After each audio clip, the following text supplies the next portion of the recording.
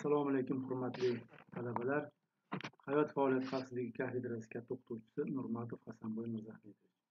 Favqulodda vaziyatlar va fuqaro muhofazasi fanidan navbatdagi darsimizni boshlaymiz. Bugungi mavzuyimiz favqulodda vaziyatlarning kelib chiqish sabablari. Mavzu rejasi uchtaga bo'ldik. Birinchi, yong'inning kelib chiqish sabablari.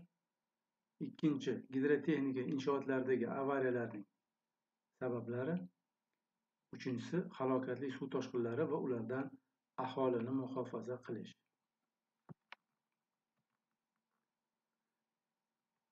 Yong'in. Yong'in bu nazorat qilib bo'lmaydigan hodisa bo'lib, bebaho moddiy va madaniy boyliklarni bir daqiqada yo'q qiluvchi ofat hisoblanadi. Yong'inning kelib chiqishi uchun uch omil bir vaqtning o'zida bir joyda bo'lishi zarurdir. Bu yonuvchi modda, havo harorati hamda uchqun. Ya'ni yonuvchi modda, oksidlovchi hamda uchqun bir vaqtning o'zida bir joyda bo'lsa, yong'in kelib chiqadi.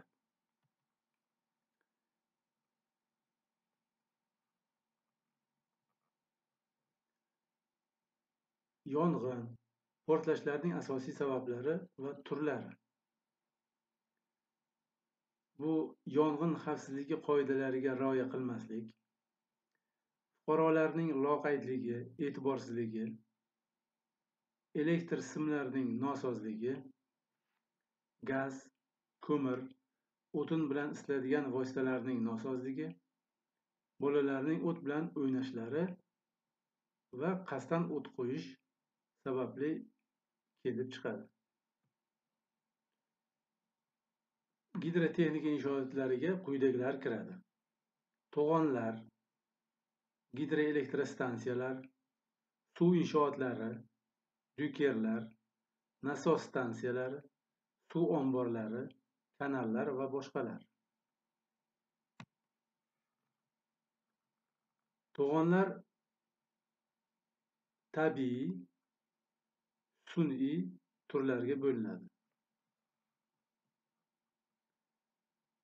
Tabiiylari tabiiy hodisalar tufayli paydo bo'lgan, sun'iylari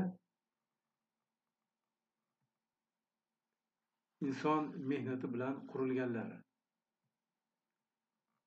gidrotexnik inshootlaridagi avariyalar quyidagilar sababdan bo'lishi mumkin. Tabiiy sabablar bo'ladi. Bularga zilzila, ko'chki, suv sathining ko'tarilishi. Zilzila natijasida to'g'onlarning buzilishi kelib chiqishi mumkin hamda ko'chki sababli va kuchli yog'ingarchilikdan so'ng suv sathini haddan ziyod ko'tarilib ketishligi, vaqtida suv omborlarini regulirovka qilmasligi oqibatida ham bosimga dosh berolmay buzilish hollari yoki shikastlanish hollari bo'ladi. Keyingisi texnogen sabablar. Bular loyiha va qurishdagi xatoliklar, ishlatish qoidalaridagi xatoliklar, uskunalarning eskirishi yoki portlashlar va jangovar terroristik harakatlar oqibatida ham bo'lishi mumkin.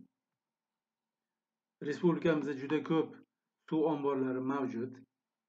Ular doimiy ravishda nazorat qilib boriladi. Hozirgi paytda O'zbekiston Respublikasi uchun xavf bo'lganlari qo'shni respublikalarda joylashgan suv omborlaridir. Bularga misol Uchsoy to'g'oni bo'ladi. Uchsoy to'g'oni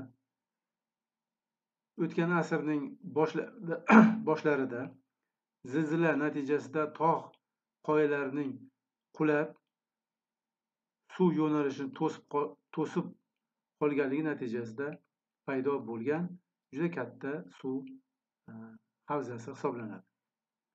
Uzunligi 70 kilometrga yaqin, chuqurligi eng chuqur joylari 500 metrni tashkil qiladi uchsoy to'g'oni yorilsa turli tog' jinslari va suvlarning 11,5 kilometr kub miqdordagi massasiga ega bo'lgan ko'chki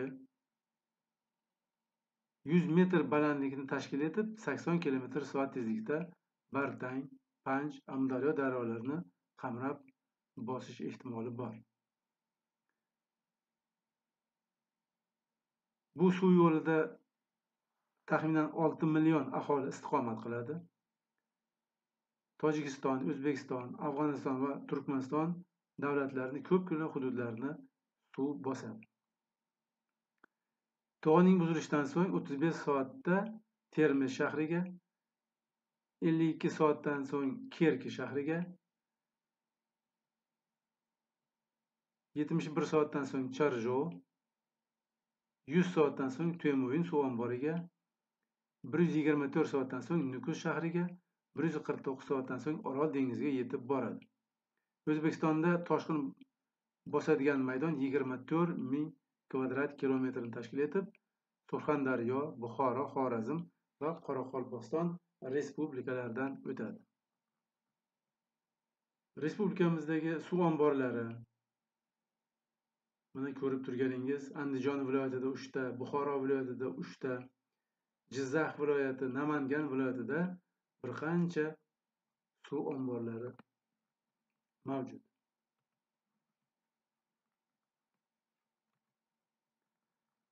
Samarqand viloyati surxondaryo viloyati toshkent viloyati farg'ona viloyatlari hamda qashqadaryo viloyatlarida ham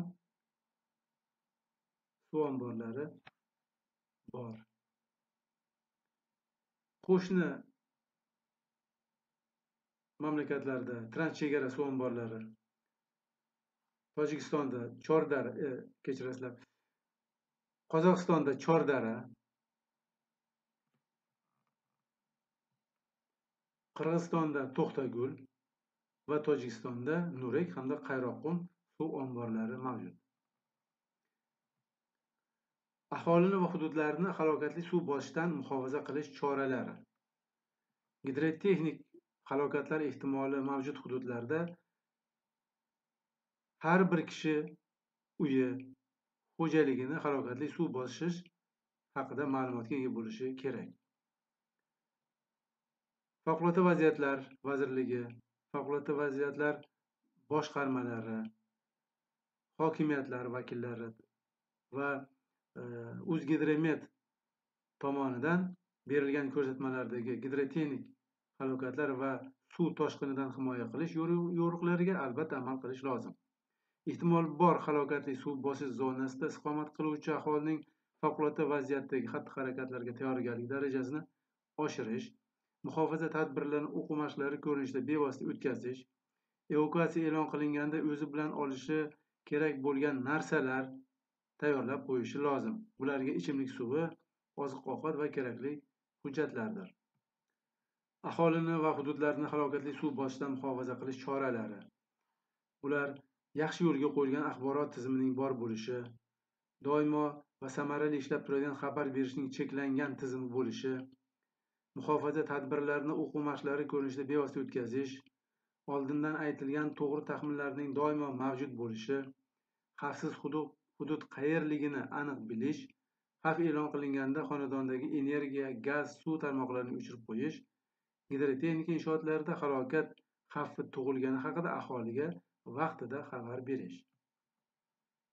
Halokat sodir bo'lgandagi harakatlar suv ostida qolishi mumkin bo'lgan zonalardan aholini va moddiy boyliklarni evakuatsiya qilish darhol hujjatlarni qimmatbaho va kerakli buyumlarni ikki uch kunlik oziq ovqat va ichimlik suv zaxiralarini o'zi bilan olish zarur narsalarni yo'qolmaydigan qilib saranjomlab qo'yish chorva mollarni xavfsiz joylarga o'tkazish halokat yuz berganda to'lqin zarbidan saqlanish uchun shoshilinch choralar ko'rilib belgilangan baland joyga pishiq inshoot ustiga chiqish gidrotexnika inshootlardagi halokatlar yuz bergandan so'ng suv ta'minotini tizimini sozligini ustun va devorlar holatini elektr gazlarini tekshirish zarur.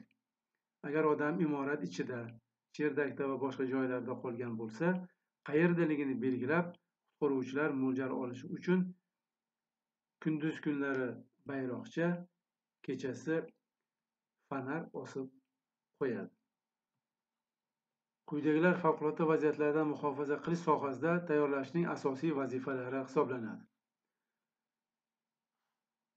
Aholining barcha guruhlariga favqulodda vaziyatlardan muhofaza qilish qoidalarini va asosiy usullarini jabrlanganlarga birinchi tibbiy yordam ko'rsatish usullarini jamoa va yakka tartibda himoya vositalaridan foydalanish qoidalarini o'rgatish davlat hokimiyati va boshqaruv organlari korxonalar muassasalar va tashkilotlar rahbarlari va mutaxassislari qutqaruv va boshqa kechirib bo'lmaydigan ishlarni o'tkazish uchun kuchlar va vositalarni tayyorlash va ularni boshqarish ko'nikmalarini hosil qilish favqulodda vaziyatlarda harakat qilishda xodimlarning o'z vazifalarini amaliy egallashi. Uchinchisi boshqaruvning barcha darajadagi rahbarlarni aholini favqulodda vaziyatlardan muhofaza qilish bo'yicha harakat qilishga tayyorlash va qayta tayyorlash.